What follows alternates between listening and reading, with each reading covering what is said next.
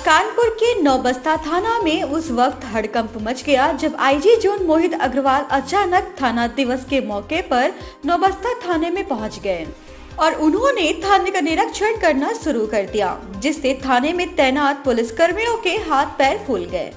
वहीं आईजी मोहित अग्रवाल ने थाने के एक एक का रजिस्टर को मांग कर उसको जांचा और परखा। वहीं अनियमितताएँ पाए जाने पर पुलिस कर्मियों को फटकार लगाते हुए थानों में लंबित पड़े मुकदमे को जल्द से जल्द निपटाने की भी बात कही।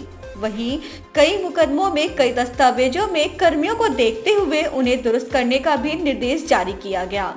वहीं आईजी जोन मोहित अग्रवाल ने बताया कि थाने के आने के रजिस्टर में काफ़ी ज़्यादा अनियमितताएँ पाई गई हैं। वहीं आए दिन आने वाले शिकायतकर्ताओं की भी शिकायतें काफ़ी लंबे समय से लंबित पड़ी हुई हैं, जिनका निस्तारण नहीं किया गया जो गलत है वहीं इस पूरे मामले में थाना प्रभारी और क्षेत्र अधिकारी सहित संबंधित उच्च अधिकारियों के बीच भी कई जांचें लंबित हैं, जिन्हें जल्द से जल्द निस्तारित करने के निर्देश दिए गए कानपुर से कैमरामैन संदीप के साथ हिमांशु श्रीवास्तव की रिपोर्ट। सर आज थाने का निरीक्षण किया गया। क्या क्या कमियाँ पाई गई? किन किन दरोगाओं को और किन किन इंस्पेक्टरों को फटकार लगाई गई? देखिए आज नौवस्था थाने पर समाधान दिवस का मेरे द्वारा निरीक्षण किया गया।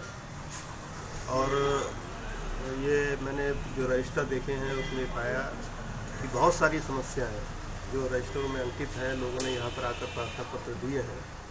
उसमें बहुत संतोषजनक जो है कार्रवाई अभी नहीं हुई है।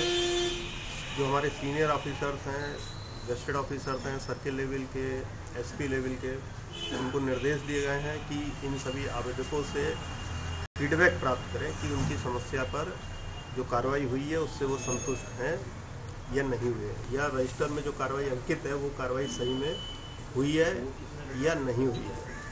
इसके अलावा ये भी सभी थानाध्यक्षों को बताया जा रहा है कि महीने में जो भी समस्या ज़मीन संबंधी प्राप्त होती हैं, उनके दोनों